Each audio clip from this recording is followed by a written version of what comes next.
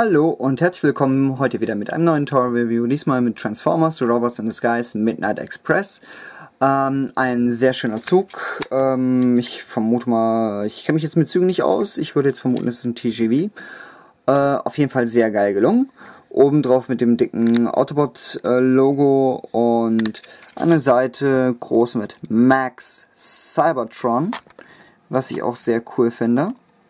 Eine sehr coole Figur, aber bevor wir natürlich zu der Figur komplett übergehen, zeige ich euch wie immer die Verpackung. Ja, wir haben hier vorne einmal ganz groß diese Frontbox. Ähm, hier wäre Midnight Express als Zug drinne befestigt. Wir haben hier den Robotermodus abgebildet. Ähm, groß das Logo mitsamt dem Namen des Roboters Midnight Express. An der Seite haben wir auf der linken sowie auf der rechten Seite äh, den Zug und den Midnight Express an sich. Der Zug wird leicht verdeckt durch die Schulter, finde ich leider nicht ganz so gut gelungen. An, auf der Rückseite haben wir wie immer die Geschichte. Die könnt ihr natürlich auch gerne stoppen und sie euch nochmal angucken.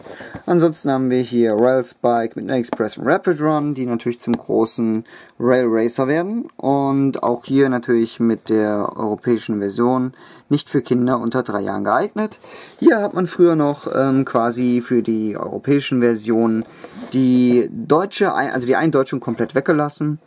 Die Figur ist ähm, advanced, das heißt also schon ein wenig komplizierter zu verwandeln, aber das sollte uns nicht abschrecken. Ja, und drunter haben wir natürlich nochmal die Taxback Card. Und ja, die Figur äh, könnt ihr euch selbst angucken, was die Figur kann. Ansonsten, ja, kommen wir jetzt mal zu, direkt zu der Figur. Die Figur hat jetzt hier, wie gesagt, äh, einen sehr schön modellierten äh, Zugmodus. In dem Blau hier ist Glitzer mit eingearbeitet, was relativ schick ist auf jeden Fall. Gucken ob ich es erfassen kann. Ja. Äh, sehr schön auf jeden Fall. Und das Max Cybertron ist einfach nur cool. Die Türen, die hier schön eingearbeitet sind, passen auch. Auch hier vorne mal zwei Stück. Sehr schön. Auch auf der Rückseite. Äh, die, dieser Zug hat jetzt äh, quasi ein doppeltes Deck, aber mit grauen Fenstern. Von Details auf jeden Fall sehr schön vorne das Cockpit mit einer sehr lang gezogenen Schnauze und äh, grauen Lichtern. Unten drunter richtige Räder. Ich habe es noch nicht ausprobiert, aber ich denke mal, man kann ihn theoretisch auch auf kleinen Schienen laufen lassen. Unten sehr platt alles. Hier nochmal Räder, die auch fahren. Das heißt also wirklich, wir haben hier einen Rail Racer, äh, beziehungsweise einen äh, Midnight Express, der ziemlich gut fährt.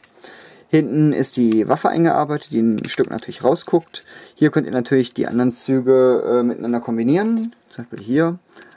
Könnt ihr quasi hier hinten ähm, einhaken und könnt die quasi zu einem großen Zug theoretisch verbinden. Ja, kommen wir jetzt aber mal zu der Figur an sich. Die Figur ist ein wenig crazy, ähm, hat aber was damit zu tun mit dem Combiner-Modus. Das ist quasi äh, hier Midnight Express als Bein, also er bildet die Beine ähm, beide Beine und deswegen sind natürlich die Roboterbeine des kleinen Midnight Express natürlich extrem groß. Aber dazu kommen wir gleich. Als erstes müsst ihr hier hinten die Waffe herausziehen. Einmal die Waffe, die Rakete bleibt immer hängen, aber natürlich muss die auch raus. Dann zieht ihr hier hinten einmal dieses komplette Teil, erstmal die Räder nach unten, zieht dieses Teil nach oben, die Räder werden so angeglichen und jetzt zieht ihr das Ganze heraus.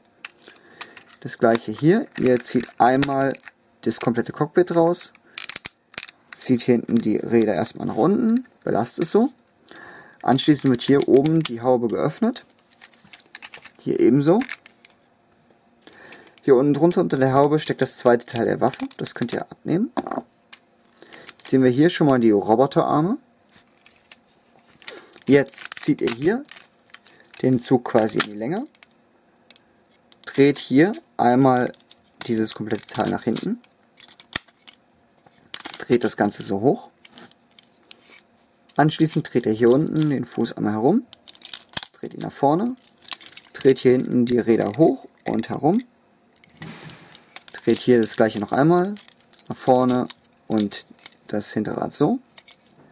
Nicht wundern, es ist nicht akkurat, das heißt er hat unterschiedlich lange äh, ja, Beine. Ansonsten wichtig zu beachten, die Arme können sehr leicht äh, fallen quasi hier durch diesen Balljoint. Den kann man aber ganz leicht wieder festmachen. Ansonsten, klar, er wirkt jetzt ziemlich groß, ist aber natürlich noch nicht fertig. Ihr klappt hier vorne dieses Teil herunter, um hier vorne den äh, Lendenschurz zu bilden. Zieht jetzt die, Beine nach, äh, die Arme nach unten, zieht das komplett nach oben. Das heißt, hier ist eine Schräge drin, die gibt den Arm frei. Den zieht er jetzt nach unten und könnt jetzt die Schulter zur Seite klappen. Das gleiche hier. So. Und jetzt den Kopf rausholen. Dadurch dreht ihr einfach hier dieses komplette Panel einmal herum. Lasst es hier einrasten. Holt jetzt den Kopf heraus und dreht den jetzt an dem Kugelgelenk nach vorne. Das ist ein bisschen komplizierter. Der Kopf hat sich auch schon bei mir mehrmals gelöst. Ist auch ein sehr schwerfälliges Gelenk bei mir. Ja, auf jeden Fall ist jetzt Midnight Express fertig verwandelt. Wie ich schon vorhin sagte, er hat sehr große Füße, sieht ein wenig strange aus, hat aber was mit dem Combiner-Modus zu tun. Beweglichkeit ist zwar schon gegeben, aber äh, ja, es wirkt ein wenig strange. Wir haben jetzt, wie gesagt, auch die Waffen. Wir drehen hier einmal diesen kompletten Haken nach vorne, um das Visier quasi zu bilden stecken jetzt die Waffen ineinander. Bitte darauf achten, wir haben hier unten einen Pin und hier oben diesen Auslöser, diesen gelben. Die müssen natürlich ineinander gesteckt werden, so. Anschließend dreht ihr hier unten den Griff jetzt nach heraus. Die Waffe ist jetzt theoretisch schon fertig. Jetzt könnt ihr natürlich noch die Rakete einmal daran befestigen. Mit dieser Einkerbung nach unten. Und schon ist die Waffe fest. Die Waffe lässt sich natürlich auch abschießen schießt ziemlich weit für äh, die heutigen Hasbro-Verhältnisse, muss ich ganz ehrlich sagen. Ist ein sehr starker Feder drin. Die könnt ihr ihm natürlich auch in die Hand geben. Und schon hat Midnight Express natürlich seine Waffe. Ja, äh, Midnight Express hat einen sehr schön gestalteten Kopf. Es sieht aus, als wenn er einen Motorradhelm auf hätte, so in etwa. Auf jeden Fall sehr cool gemacht. Als wenn er hier oben noch ein Cockpit inklusive hätte.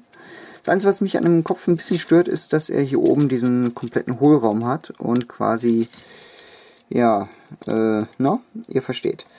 Auf jeden Fall, der Brustkorb ist sehr interessant gehalten. Ich weiß nicht, ob es Absicht ist, aber hier auf jeden Fall ist es leicht versetzt. Sieht fast aus wie Zahnräder, die ineinander greifen. Ja, ähm, die Hände sind auch blau metallic.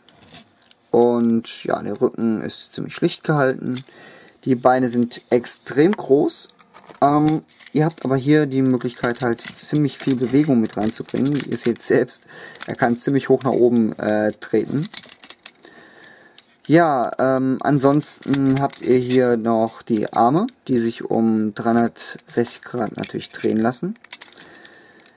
Die äh, Schultern lassen sich durch das Balljoint nach oben, nach unten auch drehen. Ihr seht hier das Balljoint.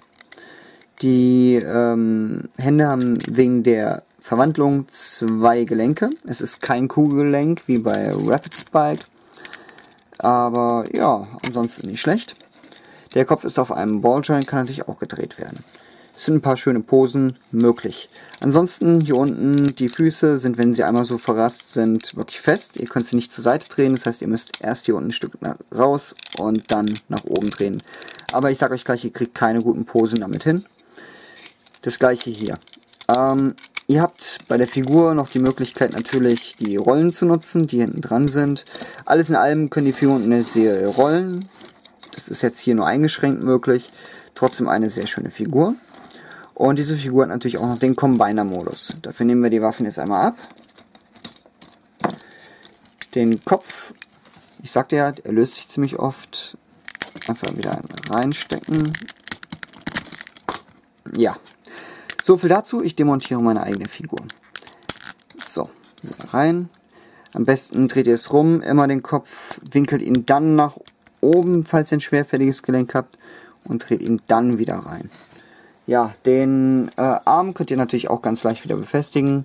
Einfach ineinander ploppen lassen äh, und schon hält die Figur natürlich den Arm wieder bombenfest. So. Den, die Hände dreht ihr jetzt einmal so herum bringt die quasi mit den Schultern in ein Stück. Das gleiche hier. So. Dann dreht ihr hier oben den Lendenschurz nach oben. Zieht hier unten dieses Teil, was für den Robotermodus ist, äh, wieder rein. So. Dreht den Kopf wieder komplett herum. So. Und jetzt haben wir theoretisch für Rail Racer die Beine verwandelt. Ich muss gerade mal gucken, irgendwas stimmt hier nicht. Steht nicht so ganz. Ah ja, genau. So.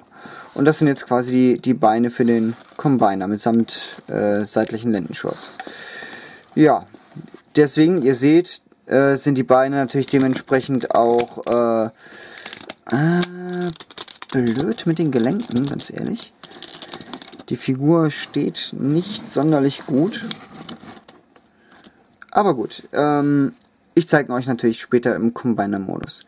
Das sind die Füße von äh, Rail Racer, wie gesagt.